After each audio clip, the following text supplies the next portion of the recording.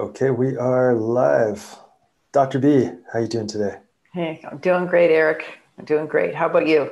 How are you doing? I'm, I'm doing doing pretty well. Um, I've got an update on my knee for everybody today. We'll get to that uh, at some point. And uh, I just wanted to welcome everybody here today to another episode of Ask Dr. B Live. Um, today we're going to be basically just answering questions, Q and A last episode we talked about return to play. So how do you safely and properly return to activity sport or the gym after an injury?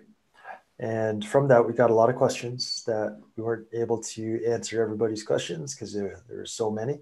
Um, so we decided we're going to do this episode where we're going to go back to some of those questions that we weren't able to answer and uh, and take up uh, more more people's questions this week. So if you have any questions, leave them in the chat. Let us know your age if you can, a little bit of history uh, as well. And uh, if you have any reports or anything from a doctor, like tell tell us what the doctor has has told you as well, and that helps Dr. B give you uh, the best response possible. So, how should we start out today, Doc? What are you thinking? I, I, am dying to know what it is that you did to uh, turn the corner with your knee because you know we had our discussion last week and um, and then you you told me over the weekend that oh I've turned the corner and I've just like I'm feeling fantastic. So mm-hmm. um, and, and I'm excited and I'm really thrilled to hear this because this is the common thing that I hear once people get the right muscles working um, all of a sudden they just the joint feels solid they don't have pain and they know inherently that they're ready to go. So what happened? Okay so um, yeah so i was just playing around at, i was up at the cottage and uh, i was just there with my daughter so she was sleeping. We just had some little tasks to do. Had to stain the stain the bunkie. Uh, we built the bunkie this summer so we had to stain it get it ready for winter so it doesn't rot. Uh, so we did that and she was super helpful. She loved that um, so in the evening, anyway, I was just messing around, playing around with movements, and this is something that I actually do quite a quite a bit. Is in the evenings. I'm not really doing workouts anymore in the evenings, but I'm doing a lot of just activating muscles, playing around. Um, sometimes I'll I'll do some more intense stuff if I get if I feel like it, if I get into it. Um, but I'm often just messing around.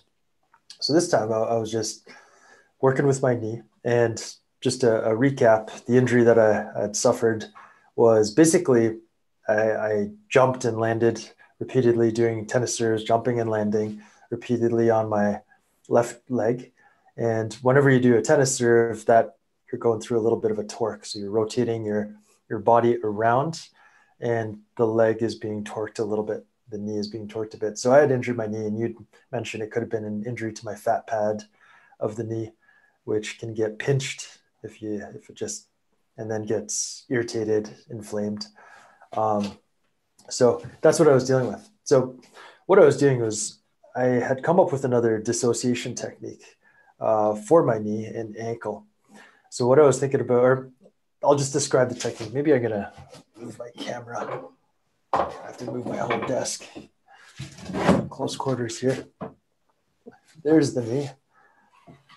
Okay, so what I was doing is at the knee joint, the muscles that cross the knee are the quads and the hamstrings underneath. There's a little popliteus on the back, um, but also the gastrocnemius crosses the knee at the back. So whenever you do plantar flexion or dorsiflexion, um, so plantar flexion pointing, this is pretty bad, but people get it. Plantar flexion is pointing, dorsiflexion is bring your toes up so they point towards your knee.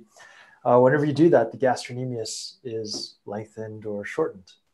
So what I was working on was quad activation because that's one of the things that you taught me was right away if you if you hurt your knee, the quads can start to atrophy within 24 hours. Mm-hmm. So that's something I've been doing throughout.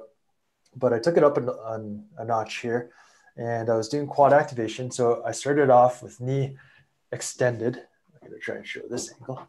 So I was sitting on the floor. Imagine I'm sitting on the floor and my knee is just passively extended. It's straight. From there, I gradually ramped up quad activation. So starting, so I'm thinking 0%, 10%, 20%, all the way up to 100%.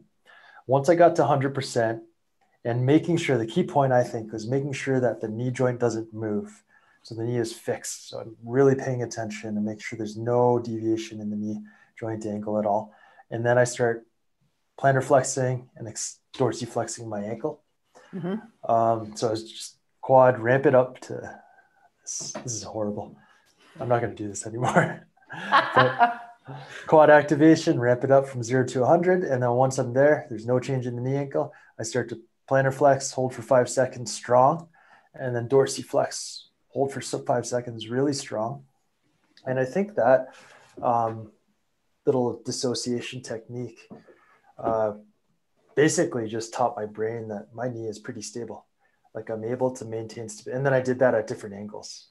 I did the same thing at different knee angles. So I'd hold that isometric contraction, plantar flex, dorsiflex. So I'd do about three cycles, about a five second hold on each. Um, and the next day it was honestly the, the it wasn't pain, but it was like a, a feeling of instability. I would say if 100% is perfect, I was probably around 60%. And then the next day after doing that stuff, I did a little bit of other stuff too, but I think that was the most important. Um, the next day, I would say I was between 90 and 95%. And it's been cool. that way since. And just, I haven't had that feeling where if I'm stepping, I'm like, ooh, I don't want to do that. Like everything that I've tried, I went for a hard rollerblade, I've been biking hard. Um, everything that I've done, actually, the other day, so my daughter Olivia started school and I've been riding her. I was just talking to you about this before the, the show. I've been riding her to school, dragging her in the, the bike trailer. And one day I was gonna, I was trying to change my seat, my saddle, because uh, I, I had a new saddle that I wanted to put on there. And I just didn't have enough time because if you've ever changed a saddle on a bike, it's kind of finicky. Like you got to place it and put the screw on and make sure the screw doesn't pop off or the bolt doesn't pop off when you try to jam the screw into it. So I didn't have enough time. So I had to ride her without a seat on my bike. And I'm not sitting on that thing. so I had to stand in the sat, like I had to stand up on the pedals the whole way there and back with a 40 pound kid in the, the bike trailer on the way back. And it's, it's not a long ride. It's like 2K. Uh, it's not a long ride, but even through that, which is a pretty intense, I mean, there's uphills, there's downhills, starting from a stop. Um, even through all that, there's right after that, no knee pain that night, the next day, no problem with the knee. And I never had that feeling of instability again uh, that I was feeling before I had done that exercise. Mm-hmm. So, yeah, that was uh, that was my experience. Um, that's it. yeah, no, that's really cool. I, I love it because um, this is what I hear from people, uh, patients over the years, and I've observed is that once you get the right muscles firing, and last week you sort of were having certain angles of loading your knee where you were just a bit uncertain and not feeling great. And I think that what you did there was you got the muscles in your leg working uh, appropriately straight and that at, at the different angles in a very controlled way so that you're, you're exactly right. Your brain knows, oh, I'm okay now. Um, no pain, no swelling. And then that, that, that when the muscles are contracting properly, it gives you that feeling of uh, stability and um, a solid, it's a solid feeling. That's how I've, I personally have felt it. And uh, so that's great. That's fantastic. Mm-hmm. Yeah, it was awesome, and I've been so we can get out on the tennis court. I'm excited. We we are going to do that tomorrow. We're uh-huh. going to hit around. Yes, you're going to run me around the court, which is totally fine. You can do that to your heart's content because my knee will be okay. Yeah, that's good. I was gonna. I was feeling a little nervous that uh, I better be careful, but uh, no, you, can, you can give it to me. okay, that's super. That's great yeah. feedback. Yeah, yeah. Um, and it's funny. Last night, actually, I was out for a skate again, and I always go at when the kids are down because that's when I have time. Um, but it's getting darker now, so we're in we're in the fall, and it's it was pretty dark out there. And I was messing around, I was skating, and I hit an acorn, and I wiped out. Oh so uh, yeah, so my other knee, I got a huge like chunk of skin, I guess. Oh boy. Um, off two chunks off my my other knee. Thankfully, it's not my bad one. Um, but uh, it's okay. It's just a flesh wound. I'll be fine. You're, you're an orthopedic surgeon's dream, Eric. yeah, yeah, yeah. So uh, this, I just wanted to mention that though, because um, active people, you're gonna get, you're gonna get something at some Banged point. up. Yeah, you're gonna get banged up, whether it's uh, like a traumatic scrape, like I got last night, or a, a wear and tear thing due to years of imbalances and compensations.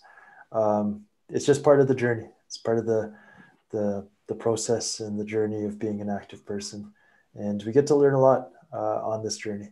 So uh, everybody here, I think it's we're all on this journey, and it's you know you're you're learning along with me as I'm learning, um, and Dr. B is is learning as well. Uh, you know, so it's just something to be aware of and, and to note if you get hurt or something goes on goes goes wrong even though you've been doing stuff that's just part of the journey even though you've been putting a lot of effort into it and learning a lot uh, there's the body's just always going to throw different things at us to to deal with and figure out Well, it's so true. And, uh, you know, one thing that I observed, particularly when I was working with the pro teams, you know, these guys are, it's what they do all day. You know, it's their job. And uh, they might have an injury. Um, and then as they're recovering from that injury, often as they've followed the principles, they've gotten even stronger. So then they're able to push their body to greater limits, which then they may be stronger in their hips, uh, but then the shoulder hasn't strengthened to the same degree as the hips. And so then maybe they start getting a little something somewhere else in the body. So because we're all connected, uh, you're exactly right. These little wear and tear issues kind of roam around the body, which is really frustrating. But I think it's learning to kind of be connected to your body and listen to these sensations of tightness or stiffness um, that sort of are precursors to the wear and tear injuries so that you can say, mm, I better foam roll, roll this because it's getting tight. And then I better turn this muscle on so that I can counteract the imbalance that's developing so that you can try to stay out of the surgeon's office. Mhm. But you know, you can't be perfect. It's part of it's yeah it's it's just living life it's it's um it, what happens and but then we the beauty is is we have solutions Mhm. That's what i'm excited about Yep, yep, definitely. We got a we got a process and a system, and you know, you, with the experience, you've seen so many different variations of things. Um, so yeah, so that's what we're going to get into right now. We're going to start to answer some people's questions and give them that knowledge and experience. So um, I'm going to go back to last week's episode because there's a, a great question to start off with here. Um, but just a reminder to everybody watching, if you've got any questions, drop them in the chat. Let us know what they are. Let us know what your age is and any relevant background info. And uh, we'll have we should have the time to get to it today. So we're going to start off with brittany brittany lucian from last week. And it's a bit of a story here but i think it's a good story. Hi i'm 32 years old and i broke my ankle october 2018 while bouldering. Splintered fibula shattered end of tibia high sprain with all of that almost breaking through the skin of the interior of my ankle so pretty traumatic bad Um, injury yeah that's terrible. Surgeon put me back together with a bunch of internal fixation, which was all removed except for three screws in May 2019. I've been back to rope climbing since July 2019. Using your ERE techniques, have regained almost my full range of motion and feel like I have most strength back. that's My awesome main problem now, yeah, it's great. My main problem now is impact tolerance with some recurring pain at full flexion and some ongoing swelling on the interior ankle. Imaging doesn't show anything. Thoughts on increasing impact tolerance to be able to run and jump without it irritating too much. So let's start there and just got another follow up question after that. okay so to clarify then that you don't have any arthritis brittany in the ankle uh, because sometimes when you do have these fractures um, you can get arthritis fairly quickly but it sounds to me like that's unlikely and I, just from what you've told me the fact that you've uh, regained your range of motion um, so well, it's not likely that you have arthritis. So um, you've got to start slowly and um, and build um, build in a progressive fashion. Um, one, you want to make sure that you've got all of the correct muscles firing. Um, and if you're, I'm hoping that you're actually doing Eric's program for lower extremity control uh, because or lower limb control because this will take you through a progression. Uh, I believe that there are some plyos eventually in yep. in that program. Um, so so long as you, I, I don't like the fact that you're getting swelling if you're loading the joint. So you need to kind of take a step back of whatever it is that you're doing at that stage. You need to make sure that you're doing it technically correctly and that you stick at that level until you've built enough endurance and strength in the muscles to allow you then to progress to the next stage of intensity. So if you're doing an impact load and you have no swelling and you're maintaining your range of motion, then that's good. So, you know, you, you, you may want to do that level of uh, activity to really consolidate it for seven to 10 days, a little longer than you may have to if you hadn't had an injury make sure everything's safe, then you can increase the either the duration or the intensity. But since you're trying to increase sort of impact loading here, we're we're talking a bit more about about intensity, unless of course this is just like walking, you know, like so I'm not quite sure how you're you're actually loading it at this point. Um, so maybe we can get a little bit of information there, Eric. Okay, I, I don't know if Brittany's actually here right now. Oh, Okay. Because um, this was from last week, but she said it is to be able to run and jump without it irritating too much. So I assume she's walking okay. Okay, so so then I would just make sure that that if she's running, that she's running at a certain level of intensity, um, and she's maintaining range of motion and no swelling before she increases the duration first, and then you get to a certain amount of duration, so you've built endurance, and then once um, uh, I don't know how far she wants to run or whether the purpose is more sort of just for general aerobic fitness or whether she wants to be doing more anaerobic sprinting. Um, but let's say that she wants to do more long distance, then I would be slowly building up the distance uh, and duration over time before I built an in intensity. And the parameters that you're going to be monitoring are range of motion and swelling. Mm. Okay, that, that's great.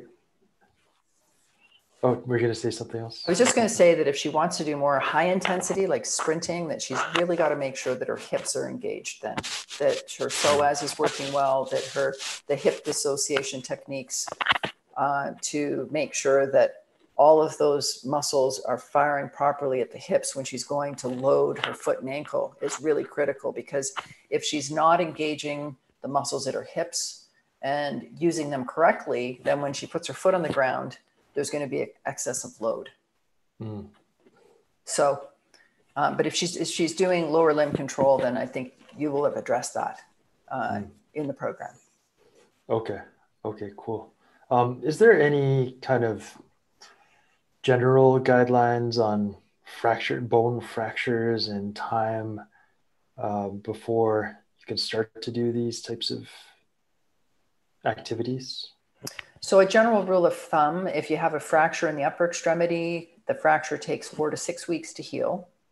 And so that means that the fracture is healed, but then we have to pay attention to the soft tissues. So that's the capsule, the uh, all the tendons that cross the area, and the joints that are associated with the fracture.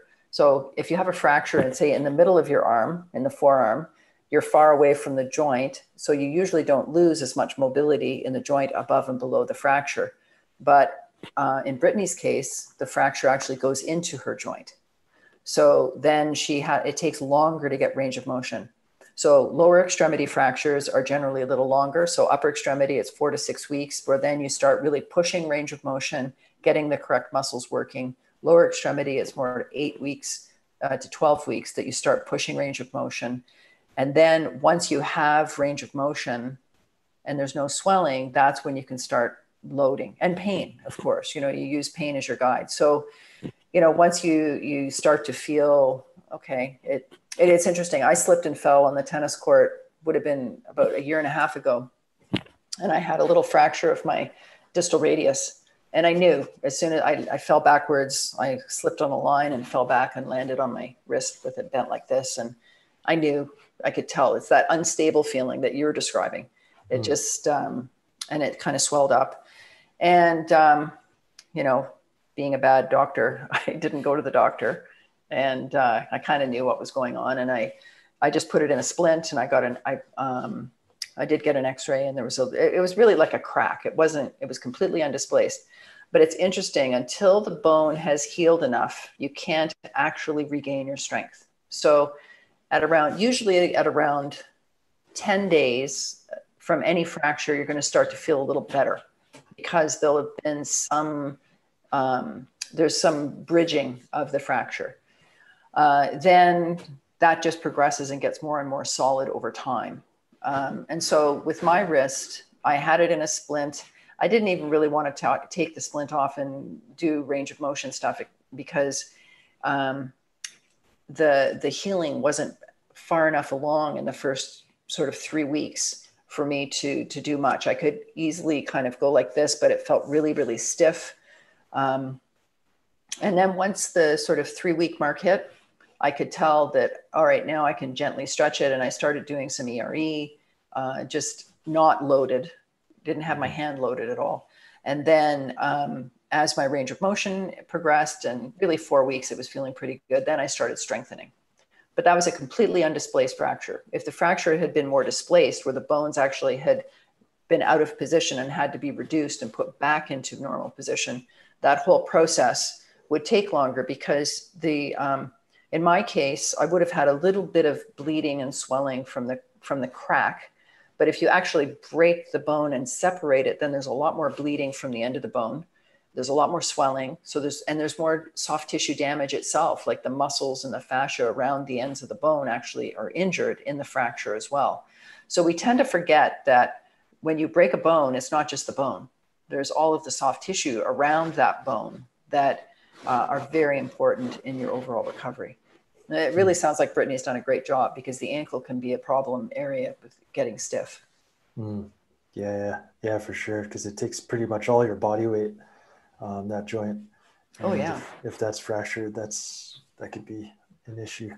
Um, if she was having problems weight bearing, then someone had a, a lower extremity fracture, I would really highly recommend getting into a pool. There's something about water um, and, uh, and even an upper extremity fracture. I, I really love the water. If somebody's having a problem um, because they have pain when they're really trying to load, the water somehow supports the body. But the beauty of it is, is you can activate the muscles in the correct order and you can get your movement pattern reestablished in the water, whereas you can't on land because there's too much body weight, there's too much load. So then you the, the body, uh, the muscles try to cheat and compensate. But in the mm-hmm. water where you don't have your full weight on the extremity, you can reestablish the proper movement pattern, which then gives the body confidence that you can then do it on land. But it just it's um, it's a great tool. Right. Yeah. Yeah. That makes that makes a lot of sense. You're just it's just the same that I was describing with my knee. Um, mm-hmm. you're, you're able to get that confidence. Your brain is able to get that confidence that you have stability at that joint. Uh, so I don't have to throw all, turn all the muscles on around it uh, to, to help out with that. Exactly. Exactly. Cool. Okay. So it looks like Brittany has a, had a follow up here as well. Um, two follow up questions. First would be Could interior pain be caused by nerves still healing from the stress of the bones against the skin? So interior, is she meaning interior like in the joint or anterior? I'm not really sure about that. Um, I think interior. Interior. So inside. It's probably a combination of the tissues just remodeling, the fracture remodeling. Um, these fractures will remodel for several years after, mm. after, and particularly, you know, she had the hardware out, the screw holes where the where the screw was in the bone, that actually has to fill in with bone, which takes six to nine months. So, okay. um, you know, it's a it's a long process. Um, so I wouldn't. I, I, I would pay attention to the sensation, but I wouldn't overly focus on it. Um, mm. I would. I, I, love the fact that she she has got good mobility. Um, this is where also some um, active self myofascial release, if she has any thickening of the tissues around her ankle because very often you'll get thickening of the ankle joint itself. Um, that when you have the bleeding from the, the fracture, you can just get this scar tissue that fibrous tissue, scar tissue, it's the same thing that sits around the joint.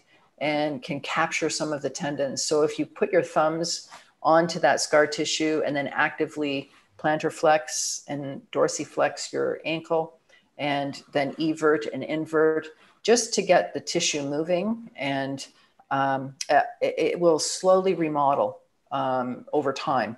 May never be 100%, but the the scar tissue itself could have some nerve endings and be sending some funny signals if it's not being able to be loaded correctly because it's not really attached to anything. It's just around where the fracture was.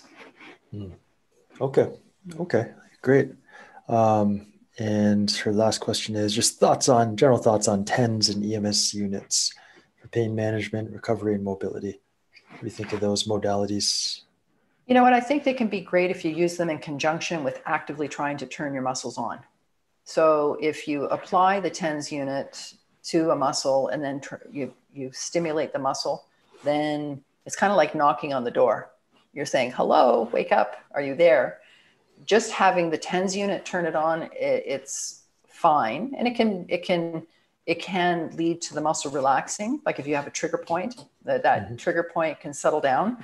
But if you don't change the movement pattern, the trigger point is just going to come right back. So I like to ha- have people put the unit on to help them learn how to turn the muscle on and get that kinesthetic feeling of, oh, this is how I turn that muscle on. And then this is how I can um, change my movement pattern. So that's that's my thought on that. Right. So use it as a, an activation, help to build that awareness, help to activate, and then do it on your own. Eventually, do it on your own. Exactly. It's like just you're talking to the animals there. You just want to you're you're and and actually touching the skin. If you don't have a tens unit, you can actually tap the skin. You can touch the muscle, kind of just stimulate it. It's kind of like I I, I it's just like it's asleep. It's like a sleeping child, and you gently go and you touch their shoulder and you say, "Good time to get up." Yeah. Not whacking it on the head too. Like if you turn that tens unit on, it can be a pretty abrupt and rude awakening. Mm. yeah. So gentle. Cool. Okay. Yeah. And on that too, I like we we both like to tap on the muscle, like yes. poke it and kind of squeeze it and all sorts yes. of different things. Just anything you can to wake it up. Yeah. Um, to develop that mind to muscle connection. Okay, so let's um, actually we have some feedback. We got some. We got an email from Roger. So Roger was the gentleman, 67 years old, who had the track meet last week. Oh yeah. On yeah. Saturday, so he showed up on Thursday and asked about uh, his adductor. Yeah, little groin injury. And here's his feedback. Um, as a result of doing the myofascial release technique showed and donning a girdle for the event, I completely forgot about the injury and it was not a factor in the race. He just said, Thank you for the suggestions and helping prepare prepare for his meet. Um, now, if you have a technique that can help me avoid stumbling out of the starting blocks. you know what? He should be doing your starting lunge. You know, the, the, the starter lunge. Sprint start lunge, yeah. Sprint start lunge. But yeah. uh, no, that's awesome news. I'm really excited to hear that. Congrats. Mm-hmm. Yeah. Congrats on getting cool. the race done. That's wonderful. Yeah. Yeah. That's awesome. Okay. So let's jump to a question from today's chat. Uh, Rachel, Rachel Cleary, enjoying watching your content. When moving my left shoulder, I hear a loud grinding sound. Happens during push up and shoulder roll motions. Uh, maybe you could describe what you're talking about when you say shoulder roll. Uh, no pain, only ROM limitation is external rotation. Diagnosed with snapping scapula and had a surgery last year, but didn't help. I have forward head, rounded shoulders, and headaches for years. I've just started spine control. What, what can I do? Okay. So basically, for those of you who aren't aware, a snapping scapula is when the shoulder blade is moving across the chest wall. The muscles and some of the edges of the, the shoulder blade itself can catch on the ribs and on the muscles, and it can be a really loud cracking and a very uncomfortable grinding feeling.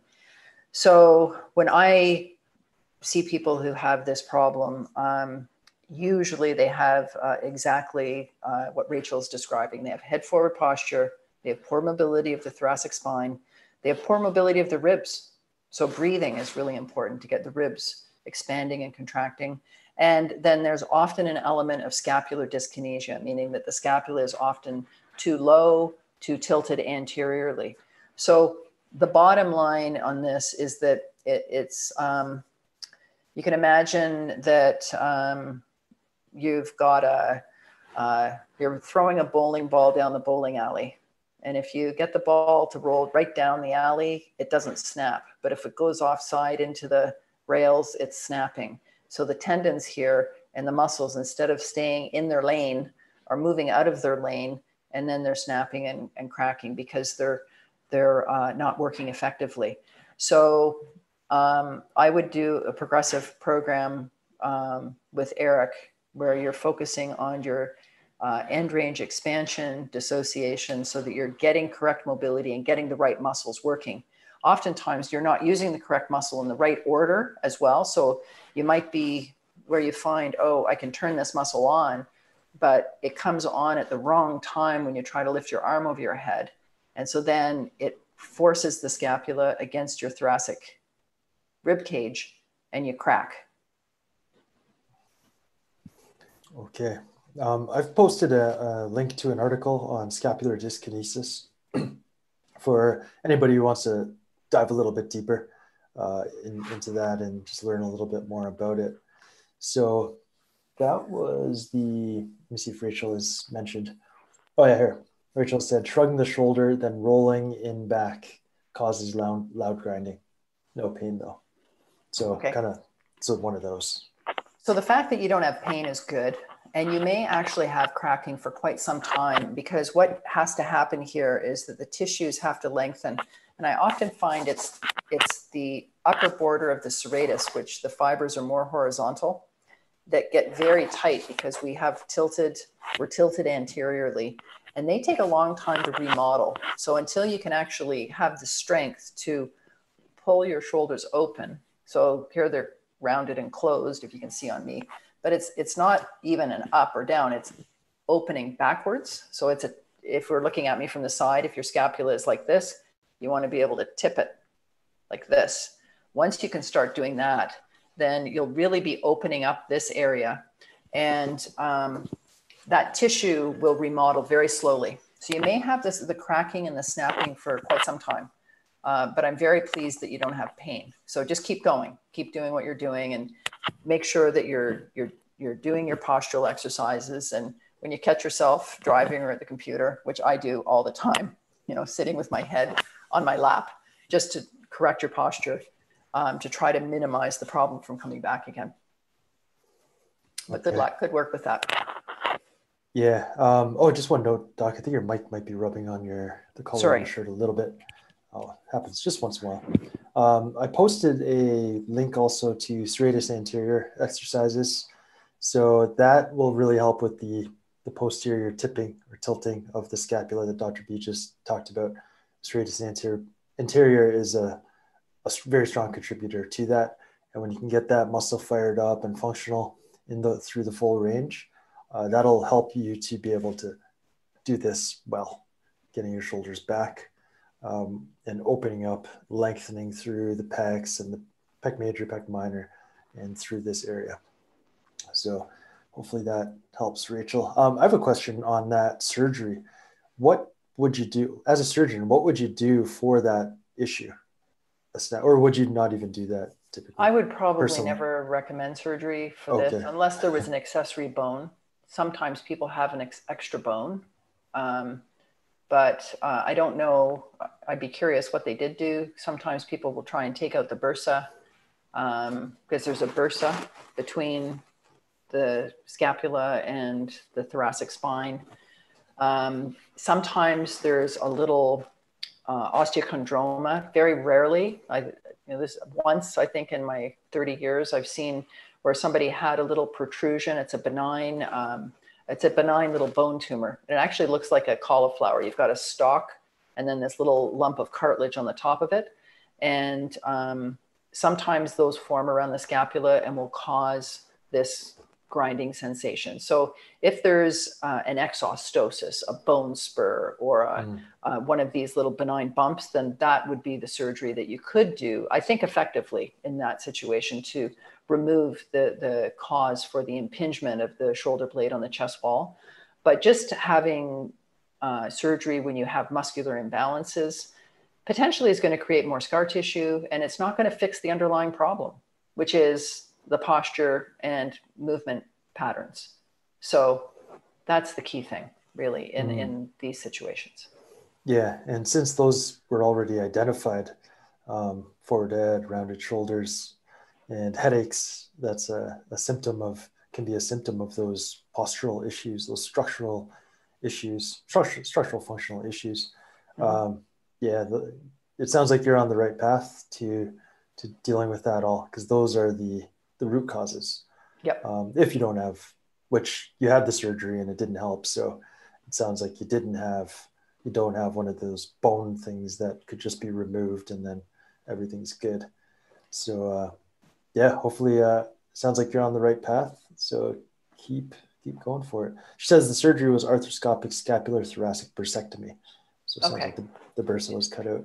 Yeah, so so they're trying to take away some thickened and inflamed tissue that is between the shoulder blade and the chest wall.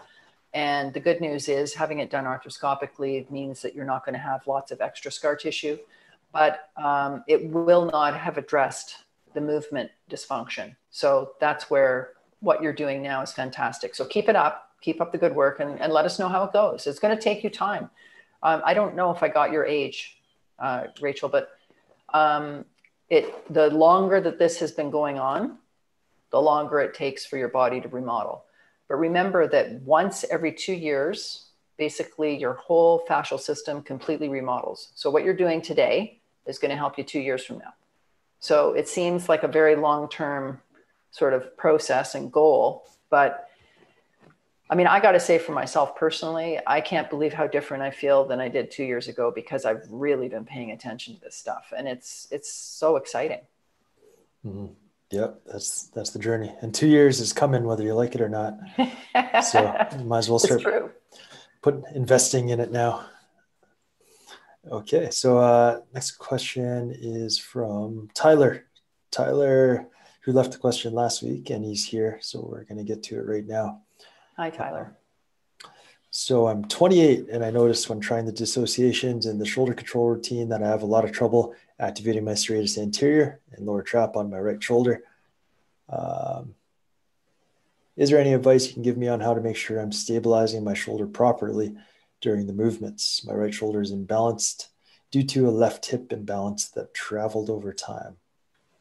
Okay, I'm curious, Tyler, if you know whether or not you have uh, generalized ligamentous laxity, um, and you can you can figure that out by doing the Beighton test. So you can basically, if you put your hand on your lap and you try to pull your baby finger to see whether your baby see my baby finger only points sort of at 45 degrees.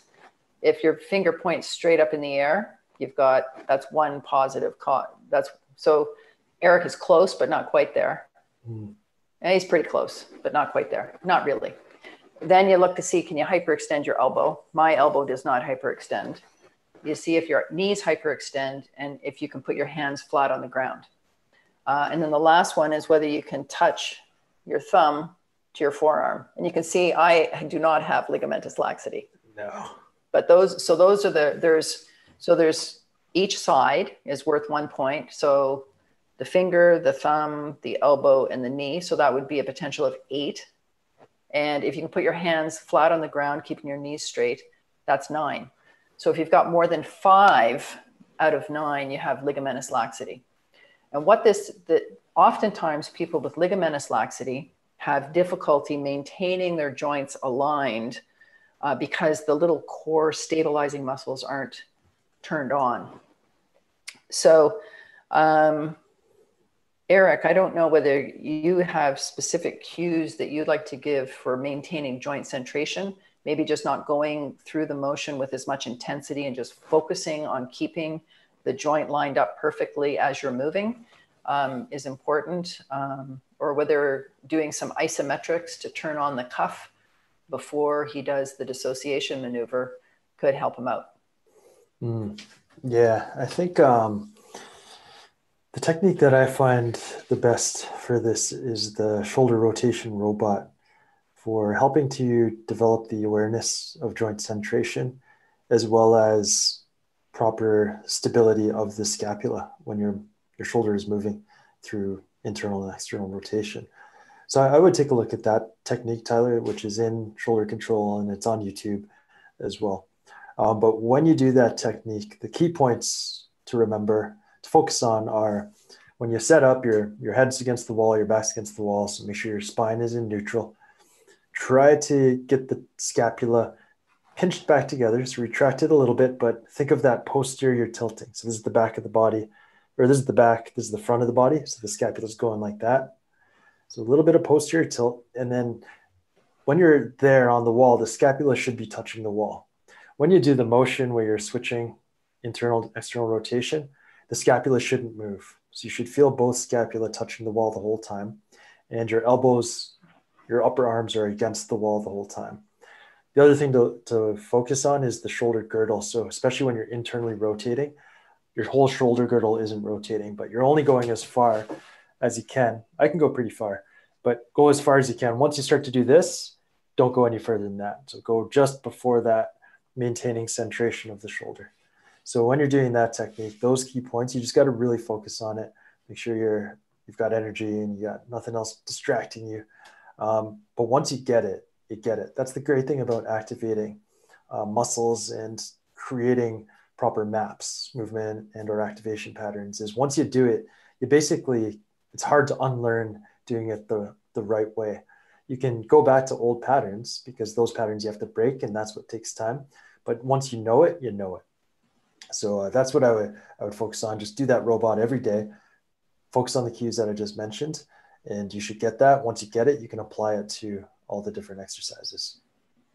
I have, I have two, uh, one comment and one question. The, so when you're doing the internal external rotation with the rotation robot, are you mm-hmm. trying mm-hmm. to gain more mobility in rotation, or are you just really focusing more on the maintenance of the scapular position and um, centration? Or yeah, so I would say both because okay. when you're doing the dynamic movement portion, you really got to focus on all the the position and the centration of the joint. But once you're at the end range, you can go for it. Like you can okay. activate hard, just make sure make sure alignment is good, centration is good. Um, but you can go for it in those those positions. Um, the, the, other reason why I like the robot and I like the alternating or the reciprocal movement because that helps to maintain your helps you keep your aligned spine. Whereas if you do both external rotation at the same time, you tend to hyperextend. Right. And it's just another thing to think about. It's not wrong or bad, but it's just another thing to think about. So I like to take away that thinking point, that cue, so you can focus on the centration and the scapular stability. Okay, so that, that's great. And it, um, I'm wondering when people, or if people, if they have really lax joints and they have a hard, really hard time in maintaining the stability, what about doing this lying on the on the floor first to get the feeling, and then progress to standing so that they're not fighting gravity in quite the same way? It because it it's a combination of turning the muscle on, but also the weight of the arm so is that is there anything for that or no?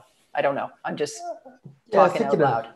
I think the weight of the arm is pretty minimal in in this exercise because it's um, bent. The elbow's bent. The elbow's so bent. like there's yeah. a long lever. Okay. Yeah, yeah. I think it would be pretty minimal. Um, I think I've, I'm sure I've played around with it on the ground, but I'm not sure if I've. I think you could try it. You could definitely try it um, and see. Well, Tyler, get down on the ground and try it for us and let us know. yeah. yeah, see how it goes. Um, should be fine either way, though. Yeah, just I, just thinking about it, but I haven't actually played with it to know. I think that's probably more for somebody who there's some people that I see that are so loose jointed that as soon as they as soon as they move their arm, the shoulder can actually almost fall at a joint. They're pretty loose. Mm-hmm. And so they have a hard time even initiating motion because they don't know how to do it. So mm-hmm. if you eliminate that shoulder wanting to fall out of the joint by having them on the ground mm-hmm. because there's just no pull, then it may just be, and, and I don't think they would do it for long. I think they would do it just till they got that feeling. Because as you've said, once you know how to do it, you know how to do it mm-hmm. and then they can stand up. So it would be more just of a very temporary thing you would do if you're really struggling and you can't do the rotation robot on the wall. Mm-hmm. Mm-hmm. Yeah. I don't know. Yeah, I think that's Just food for thought, just thinking out loud. Right. And uh, I think in, in those cases, those people too, it's just super slow and start with the, is whatever position you start in, like you're basically bracing whatever that joint is. So if it's the shoulder, just mm-hmm. hyper contract everything just to start that motion. So there's full stability there. Mm-hmm. Um, if, if people are that loose, I, I might look at that as, as a possible solution. Awesome. Um, okay, so that was Tyler, and I know Tyler he had a little bit of additional feedback. Uh, details. He said he had a, an overuse injury to his left hip at 24, where he lost all internal rotation in that hip. Didn't address it for a year and a half. And then the left psoas had shortened and weakened a lot, and the imbalance traveled to his right shoulder. Uh, so I think that's just a, if that's if that is exactly what happened, that's just a, uh, an illustration of how compensations can occur in the body. One area goes awry, and that will travel. Who knows where it's going to go? Mm-hmm. But in this case, it was Tyler's left psoas, and it, mm-hmm. it went up to his shoulder. But this a psoas issue that's unchecked can lead to back issues, can lead to back, knee issues, ankle issues. So it does it. We don't know where it's going to go. That's why it's impossible to give a, a blanket statement on okay, if you have have this problem, then this is the for sure root cause because there could be a number of root causes to these kinds of issues. Um, and that's why Dr. B and I, our kind of solution is get every joint working properly and just yes. keep working on it because uh, you don't know where the problem started or where it went. Right. You don't know what's first, the chicken or the egg. But it certainly there's a lot. There was a lot of discussion in the baseball literature uh, pitchers would have this issue, mm. exactly what Tyler's describing. And it, you know whether the the the hip issue really impacts the shoulder, I personally believe it does because it affects the kinetic chain. Uh, so Tyler, you got to treat both both areas to to really stay healthy and move forever. But um, the good thing is, is you know about it, so now you can do something. Mm-hmm. Yeah. Okay, so that was Tyler. Hopefully that's helpful for you, my friend. Next up, we have um, John Smith. John Smith is always here. What is Dr. B's opinion on Latarjet surgery? I've had ongoing shoulder instability, but I'm focusing on rehab for now. My friend recommended the Latarjet, but I would prefer exercise. Just interested.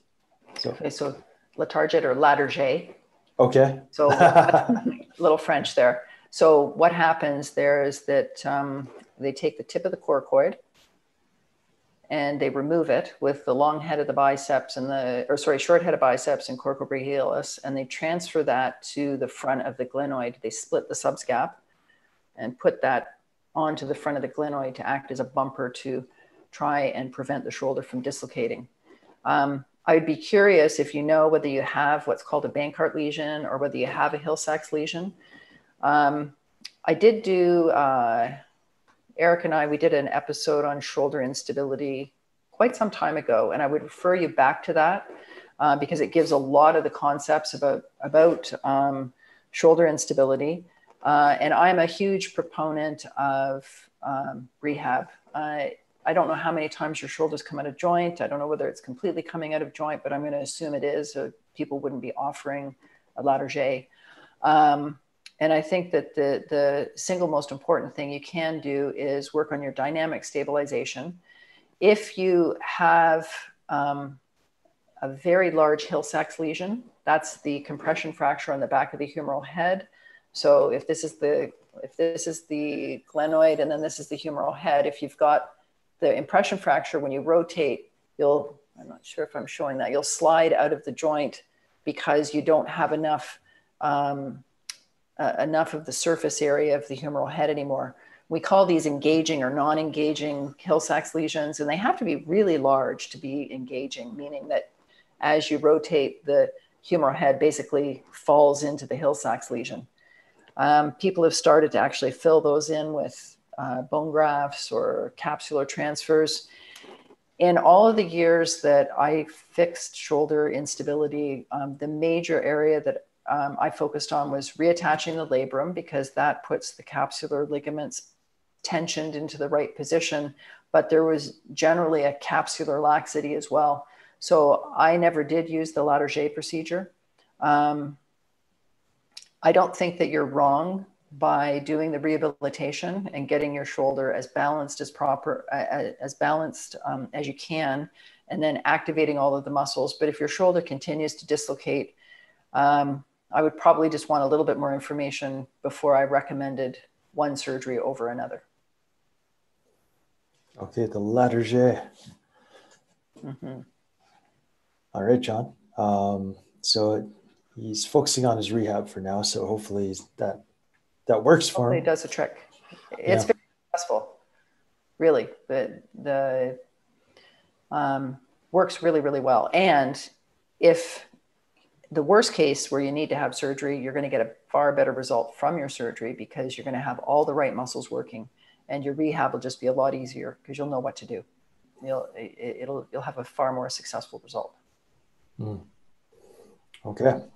Next question is from TC. I am 46 male.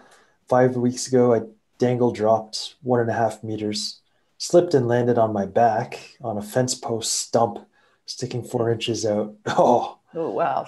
Nasty. I crushed my seventh thoracic vertebrae, which is about one centimeter thinner at the front than the back. Okay. I can walk and do general stuff, and I'm taking no pain medication. When and what do you think I can start doing? And the question ends there. Okay, so that's about seven weeks ago. So this is what we call a wedge compression fracture of the thoracic vertebrae. And um, it sounds like it's a stable fracture. Uh, I would be getting a follow up x ray to make sure that the deformity of the fracture is not progressing. So you don't want you don't want the wedge to be getting larger um, over time. But the fact that you have no pain, highly unlikely that that's happening. So um, I would start doing some very gentle mobilizations right now. Um, you, Eric has got some really nice uh, videos on T-spine mobilization. You need to go really slowly and very carefully, and you're only going to do mobilization in a linear plane. So that's going to be flexion and extension. I wouldn't put any rotation in at this point. I would give it another sort of four weeks before you add rotation. Really let the fracture heal and consolidate. It takes eight to 12 weeks for the fracture to completely heal. Um, and I wouldn't be really, really forcing things because you're only at seven weeks. Um, but the fact that you're feeling really good, uh, I would be using pain, you know, pain as my guide and going slowly. You okay. can start doing if you want to if you want to do other activities, get on a stationary bike. You can ride a bike. Sitting might be problematic. Um, so you know, you're going to go slowly and gradually increase. Don't go and get on the bike for two hours. Go on the bike for 10 minutes, literally 10 minutes. Just see if you feel good. Try to maintain good posture while you're while you're on the bike. And I like you being on a stationary bike versus being out on the out on a road because you, we don't want you running over acorns and flying with you know a, a fresh fracture. Uh, we want you in sort of more controlled environments where you're not likely to get re-injured. Um, so you could get in a pool if that is comfortable Sometimes with thoracic spine fractures, when you move your arms, and particularly when you lift overhead, you can have more pain because you have all of the fascia from the lats and the traps that are inserting around the uh, thoracic spine, especially T7 area. So um, I would make sure that you've got good mobility of your arms and um, focus on those kind of principles at this time. Okay. All right, TC, if you have any further questions or info, feel free to drop it in the chat there. Um, it seems to be fracture week on Ask Dr. B LIVE. so this is from Daryl. Shattered the right femur in 2007. I'm having Ooh. trouble recovering a gluteus medius. I'm using hip control, but my chiropractor says it likely has dead tissue that will never come back. Is that true, or could that be true? I'd be curious how you had the femur fracture fixed um, because some of the surgical incisions are proximally and they're up around the rotators. Like they made, we, we actually insert a nail right at the piriformis fossa. Um, so I don't know if you're necessary. I think that if the muscle, so long as the muscle is attached. So if your chiropractor tests the muscle and you can do the movement, it's just that it's weak, I believe that you can recover. And let's say that you've lost the piriformis muscle function because of the where the nail was inserted. We're going to assume it was a nail. Then um, you still have five other muscles that you can turn on. So that's critically important. So um, you might have some fibrous tissue around the area, little scar tissue around the area that would be dead tissue. I don't ever consider it dead. I, I, I guess it would be unloaded tissue. Um, but if you have a muscle in there, then you can turn them on generally, so long as uh, you know, so long as you talk to them. So I would really encourage you to be doing active self-myofascial release to try and loosen those little muscles. You get your get your little um, trigger point ball and get it on your butt and be rot- sit on it and flex your hip and rotate your leg in and out and then flex and extend your hip so that you're getting all those little muscles in your butt freed up and loosened up and then turn them on doing Eric's exercises. And I think I think you'll notice I think you'll notice an improvement. It's it'll take time, and if you have scar tissue that needs to remodel around these muscles, it can take a lot longer. But that's where it's important to try and release the muscle first and then turn it on. So Eric has got some um, videos on scouring the posterior capsule and the um, those little muscles that are around the, the hip capsule. It's really important for you to do that kind of thing to release the muscle first and then turn it on. And that's the key. Release it first, turn it on second so it can actually go through its excursion and try to find a normal excursion. And then you'll put it into the proper uh, muscle firing pattern. So keep going. I do believe that there's hope. cool. Yeah, I think, um, I mean, if a muscle was dead in there, it would just atrophy away, but it, it would have been like it would just be completely gone. Mm-hmm. Uh, it, and you would probably see that in the glute medius is pretty big. Um, yeah. So you would see that huge um, void where the muscle used to be. Uh, so I think if it's yeah, if it's in there, it's doing those things that we talked about earlier, tapping it, poking it, try to just wake it up somehow, rub it, shake it, you know, a vibration. Kind of, I used. I remember when I injured my my nerve here. Um, my friend Daniel, the functional neurologist, he told me to get some vibration on there. So I was mm-hmm. using a, a, hair clipper because that's the only thing that I have that vibrates. So. I, I, put my hair clipper on there. Got a nice smooth arm now, but uh, yeah, just any kind of different sensation, pressure, temperature, uh, pinching, rolling, prodding, poking, vibration, all those types of things uh, can be helpful in waking up a dead, a dead muscle. They actually have some vibrating rollers now. So you can get a ball that vibrates and you can sit on it. So it's vibrating and so you can be, uh, you know, sit on it and do the rotations around your hip. So you get a combination of the 2 mm-hmm. um, but it's all, I, I, do think there's hope for sure. Mm-hmm. Cool. And he's doing, Daryl's doing hip control. So uh, that'll, that'll help That's him a, to. It's a really good program for you. Fire up that stuff. Okay. Uh, next up, HS. What could I do about front delt pain reading into the tricep and elbow and into the forearm and wrist? Front delt pain. So, just for people, uh, radiating pain is when you have pain in one area and then you just kind of feel it going. And this sounds like front delt radiating into the tricep and elbow and probably down the extensor chain, I guess, down into the forearm and the wrist. That sounds like a muscle trigger point to me um, possibly the anterior delt itself, possibly the subscapularis. So when you have um, a trigger point is basically a part of the muscle that is just turned on too much. You'll, you guys will have often referred to this as a knot, knot in your muscle. And if you feel around and you could, you'll feel in the muscle itself, as you touch it, you'll feel the actual knot, a little bump. It'll be very tender. Um, you can actually put pressure on that on that uh, trigger point and just very gently massage it, and that can cause it to relax and to release, which will alleviate the symptoms. the question I always have in my mind is why do you have a trigger point in that muscle? And usually you have a trigger point in that muscle because it's working too hard. So we need to get the other parts of your shoulder girdle functioning and working correctly so that that trigger point doesn't keep coming back. So um, I think that overall you need to look at your posture of your neck, thoracic spine mobility, position of your shoulder blade, and, and how you're using your muscles. So I would recommend uh, probably the shoulder control course. Yeah. Yeah, this I did a quick Google search on on radiating pain starting at this area. Mm-hmm. And it could be deltoid, it could be, like you said, supraspinatus, subscapularis, infraspinatus. Mm-hmm. Uh, it could be any of those muscles. And again, like Dr. B said, just to reiterate the importance of this, is why are why is the trigger point there in the first place? And it's always, um, not always, but it's often a muscle is just working too hard because it's picking up the slack of other muscles that aren't doing their job.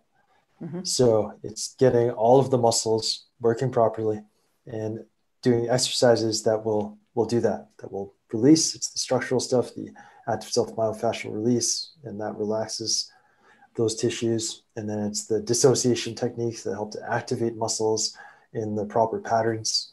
And then it's moving on from there, improving the mobility that's needed. So you're not um, compensating because of a mobility issue. And then it's integrating everything that you've basically learned up until that point, everything that you've taught your body up until that point in doing these exercises and following this progression, integrated into movement patterns that can transfer to the gym, uh, life, and sport. So that's that's the process that we follow, and it is a process, and there's an order, a specific order for a reason, and it it is designed that way because we've just found that that's the way that works the best. It works, yeah. And I think it's really important when you have a trigger point in your shoulder, probably the muscles in your shoulder are compensating for postural issue in your spine. So your neck and your thoracic spine. So you need to pay attention to that because if you go and you do all these exercises for your shoulder, for your rotator cuff, but you don't fix the postural issue, it, you're it, it, it's so frustrating. You're, it's like you're spinning your wheels, and this is where you know, you can go get some massage or get some acupuncture and they can relieve the trigger points for you and you feel good. And that gives you an opportunity to reprogram. You know, you could then do the dissociation techniques to reset the, the nervous system and um, gives you the opportunity to reprogram everything. But the massage and the acupuncture aren't the final answer. They're, they're something that when when you think about the four R's that Eric and I talk about, where we're relaxing. So acupuncture and trigger point release would be part of the relaxation uh, of the four R's, but you then have to follow it up. Um, so good luck with that, Tyler. Yeah. Yeah. The relax, the massage, the acupuncture, that's basically one quarter of our system. That's one of the four R's. So you yep. got to keep going. Yep. All right. So this one is from Kyle. He's 21 and he does Aussie rules football, tennis, and cycling. And he's asking, wonder if you have any experience with Scheuermann's disease and what would be the best way to go about addressing the postural issues it causes? So Scheuermann's disease is, um, it's a problem that young men more commonly than women experience where they have um, a developmental issue with the growth plate in their thoracic vertebrae. So that the vertebrae in our spine are like little boxes, and then they're separated from each other with the cushions, which are the discs.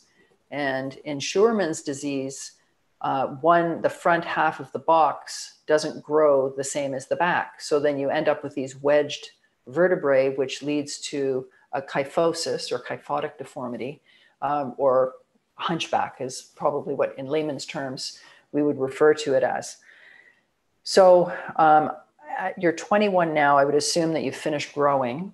And um, it depends how rigid this is. Sometimes with Scheuermann's, it, your spine can be very rigid because the ligaments get very thick at the front of the vertebral bodies. But the ligaments still have um, a capacity to remodel and move. And I would encourage you to gently try and get your thoracic spine or keep your thoracic spine moving as best you can we're not going to be able to necessarily correct the deformity. If we met you when you were 10 or 11 and it and this was starting to develop but most people don't even realize it. It's just all of a sudden one day it's like what's going on here? Um, so but if you were still growing then i would actually have you be doing exercises to try to really influence how you're loading the, the vertebral bodies to influence how they grow. But um, i think we've i think that ship has sailed here.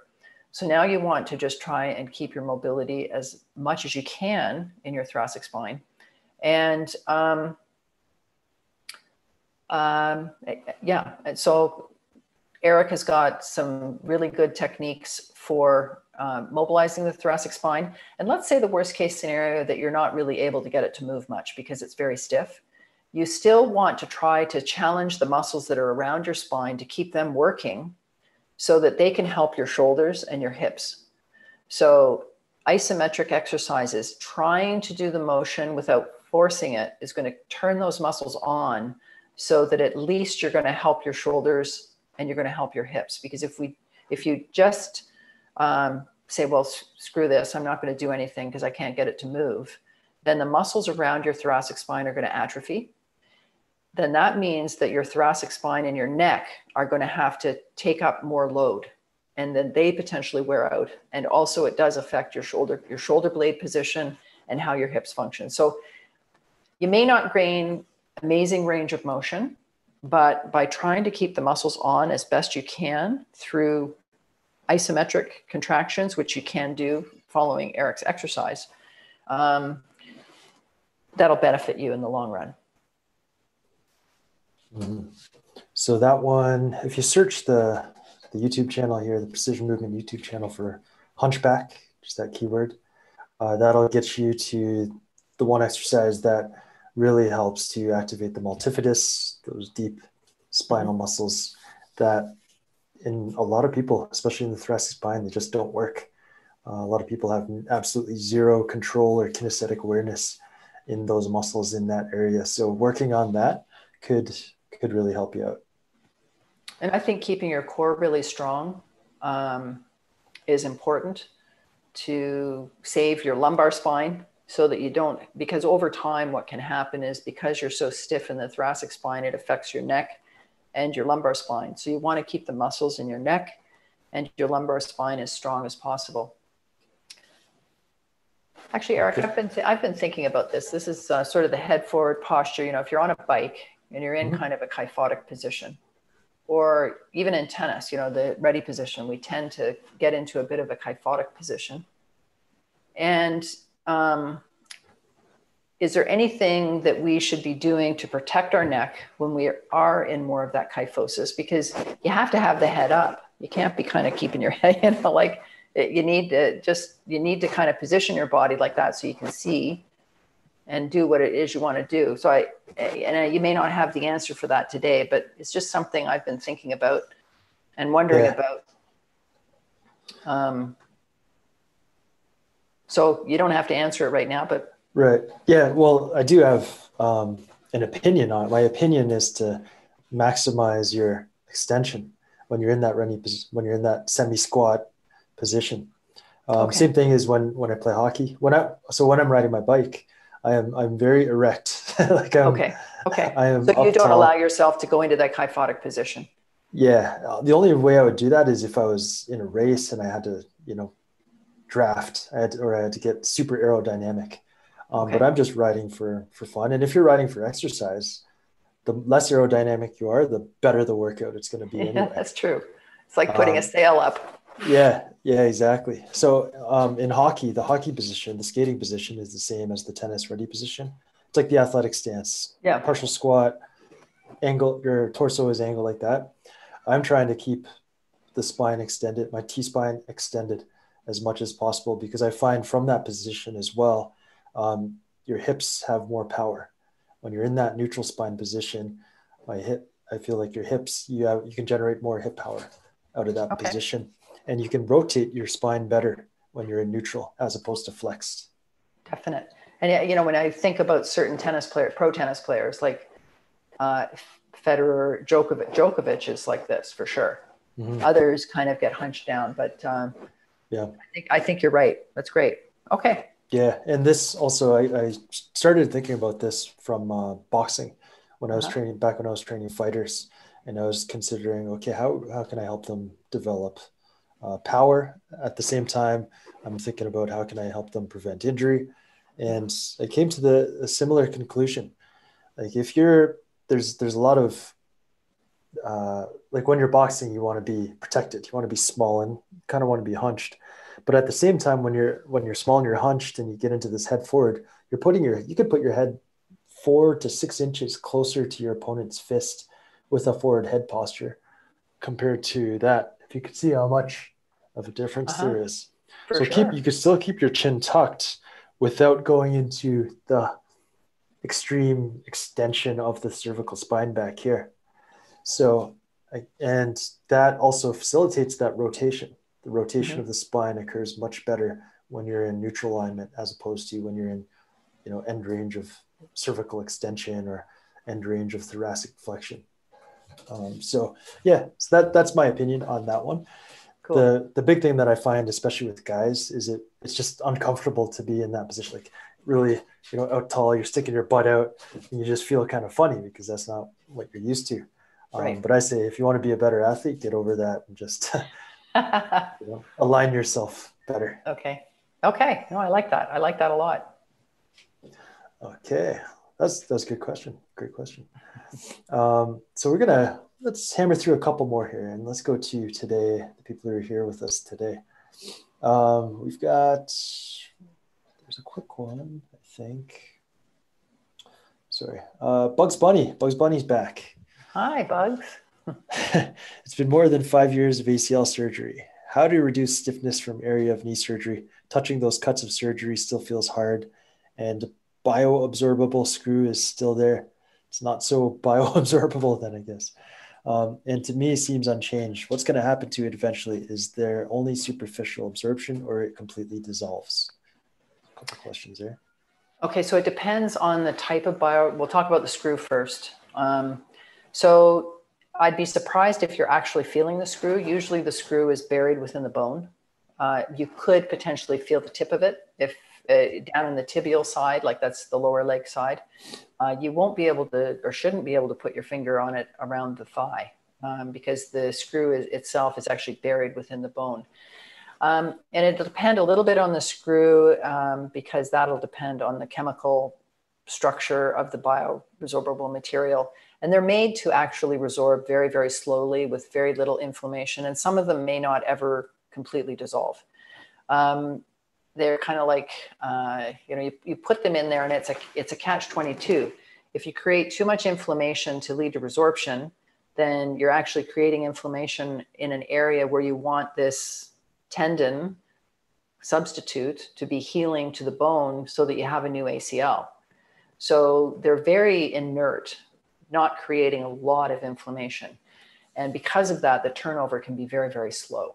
Uh, and, and some of them stay there for a very long time.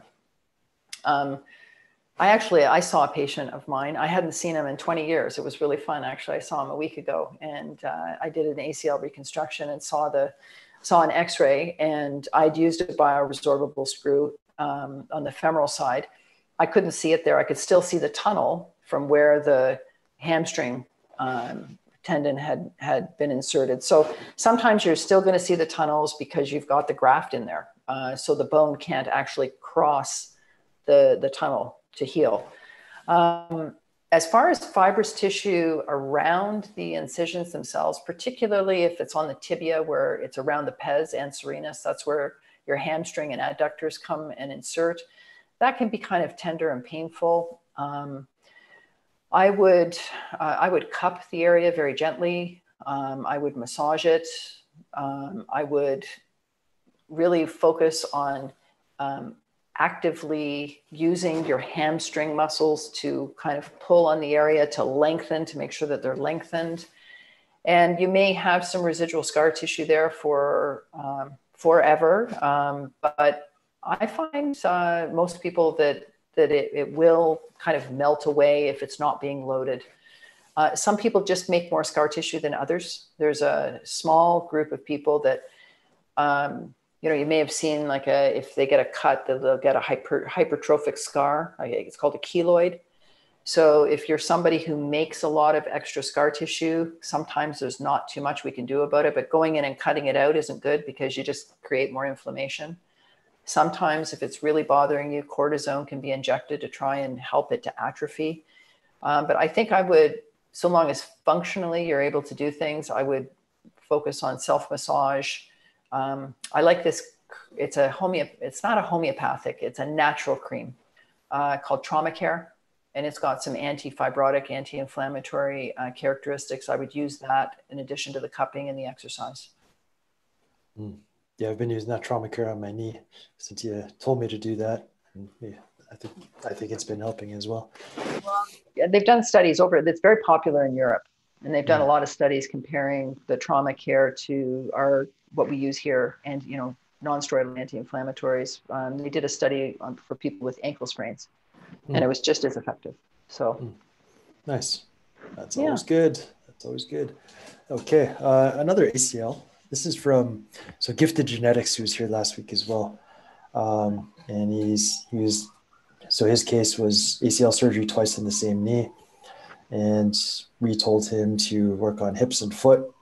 Mm-hmm. Been doing this the whole week. My issues were knee grinding and stiffness. He also touched upon patellofemoral disorder for knee grinding But what's the solution for patellofemoral and stiffness in the knee? Hamstring exercises have helped some. And then third issue is unable to twist and sharp cut motion during standing and running. So uh, patellofemoral disorder for knee grinding. Okay, so that is going to take you quite. It's going to take more than a week for that to remodel. Um, so if you're feeling better though by doing those active hamstring exercises, I would be really that, that's positive. Um, and I think we may have talked about doing the avoid the knife program to teach them how to do mobilization for the patella mm-hmm. and activate the VMO. Um, the patellofemoral, uh, we did an Ask Dr. B live on anterior knee pain. And I would ask you to go and, and have a look at that because we talk in a lot of detail about the importance of psoas activation. Because if the psoas is flexing the hip, then you're not using your rec fem. Because if you're only using your rec fem to flex your hip, then your rec fem is so tight, which then changes how you're loading your kneecap, and it becomes such a vicious circle. Um, so, really addressing the hip and the ankle are so important. Um, but then, locally for the knee itself, you're going to want to try and mobilize the kneecap up and down and side to side, and make sure the VMO is really activating and turning on well, and then give it a bit of time. And this can take two or three months. If you've had it for a long time and you've had two surgeries in your knee, uh, it's probably going to take you several months. But what you'll find um, is that you'll have pain free periods and there'll be a little less grinding. Um, and then those pain free periods initially are really short. Uh, and then you'll then all of a sudden it'll be like a day and you're thinking oh it's all all better and then you go and do something and it comes back again and you get really down but just keep working away at it and the tissue will remodel. And um, certainly by three months, I think you'll notice a big difference. But it'll probably take you six months or a year to fully get all the mobility that you need and allow the tissue, the fibrous tissue, to lengthen because that tissue can be pretty um, stiff. And so the tissue pliability there can take a long time to settle down. Um, so slow and steady, stick with it, you may always have some grinding. So long as you don't have pain and swelling, I'm okay.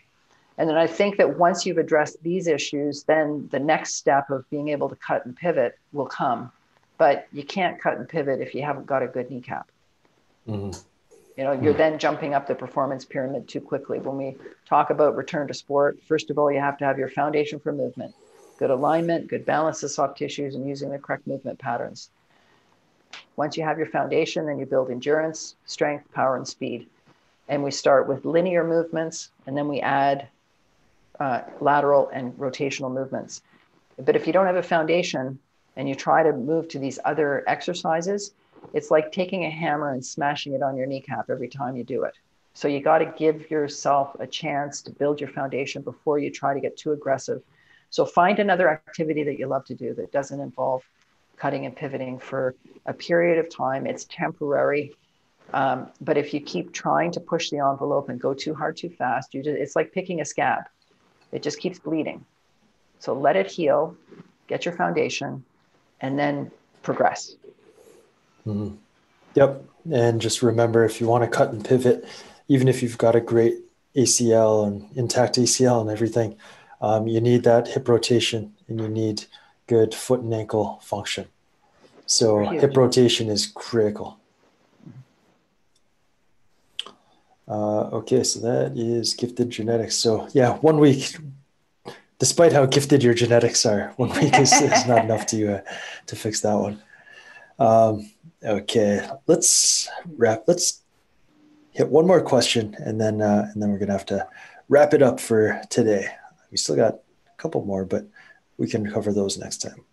Okay. So this is from where was that? Ju- there it is. Whistle whistle. Um, I think the whistle whistle was here from last week as well. He said judo is not looking good for someone having a history of knee issues. Uh, for light practicing throws, does pivoting knee have to be uninjured and leg which aids in picking other person up from leg? Uh, would padded knee braces help in reducing repeated impact of falls? 28 male in decent shape. Um, and I forget what the history of knee issues was from last week. Um, remember that one? I remember that he uh, he'd had repetitive injuries and pain, and we kind of talked about the. Uh, I don't remember specific diagnosis. I'm sorry. Whistle, whistle. Yeah, maybe um, you can let us know. But I do remember. I do remember in the end, um, just you sort of saying that this is a tough sport for somebody with pretty bad knees. Mm-hmm. Um, yeah, I remember and, that part. Um, so I don't really think I have too much more to add based on, you know, what the information I've gotten today. And you are far, you know, you are far more knowledgeable about judo than I am. So maybe you want to comment on, on what he's asking about. It sounds to me like he's really sad that he can't play judo or participate in judo. Mm-hmm. And I would understand that. Yeah. Um, yeah, I, I think, I mean, light technical practice is, is always good and I, I, recommend that to people who box, especially or do some type of striking art, because or when you do that, you talk to your partner and you say, "This is what I want to do," and you get clear. Because when guys start to go at it and you get hit, then you want to hit the guy back, and then it just escalates into a full out brawl. Um, so have a trusted partner that you can say, "Okay, listen, I, my knees are a little bummed. I don't, I don't want to go too hard." Um, and somebody that you could trust to to work with you with that. So that's one thing that I would say is that helps with judo and any kind of sparring practice where you're you're fighting with another individual, especially men. Men and men get like this. Uh, I think it's just genetic. But um, so yeah, if you're if you're going to get into this, um, and I forget the the history of knee issue, ligament and meniscus issues, um, work on that stuff. Work on that stuff for a period of you know a year to two years where you're really focusing on give yourself a year actually mm-hmm. where you're really focusing on getting the knee nice strong and stable and then working the hip and the ankle and after that you should be you should be okay because to participate especially if you increase your skill in the sport you learn how to land well you learn when you're getting thrown and you can react quicker and you know take the weight off of that foot that's planted on the ground that's getting torqued um, so start off really easy now, but really focus and dedicate yourself to getting the knee, the hip, and the foot and the ankle all working properly. And I think you could participate in the sport. You just got to be a little bit uh, more cautious, maybe, than somebody who who doesn't have any pre-existing issues. Yeah, Eric, I think that's really good advice. I think it's keeping it controlled as you're building your foundation for movement right now because the last thing you want to have happen is that you've worked really hard to get to a certain level of your recovery but then someone flips you and you land on your knee and it you know you start back at square one because it you've tweaked it. So um, i'm sure that there's lots of things that you can do in a very controlled way to work on your skill but the hip and the ankle are going to be the key because they're going to really protect your knee. And you know having a pad if it hurts you to land on it i don't you know I'm, yeah, I'm for sure. Then that's fine. But it's once your hip um, gets stronger. Like I remember at the beginning of COVID, I couldn't do an MMA lunge. I was doing Eric's uh, mm. live sessions, and I was like, "You got to be kidding me! I can't do one of these." Now I can do them, so I'm really excited. And I can't believe the difference in my knees because of the strength in my hips and the mobility that I've gotten in my ankle. Like it's just my whole lower extremity has changed from what I've done and worked on in COVID. And um, so I'm excited. So I'm 61. So if I can do it and have my body change like that, imagine what you can do, even though you've had some injuries. So, you know, stick with it and just just be smart. Be smart with with um, with your plan and notice. Okay, this really this really flares my knee.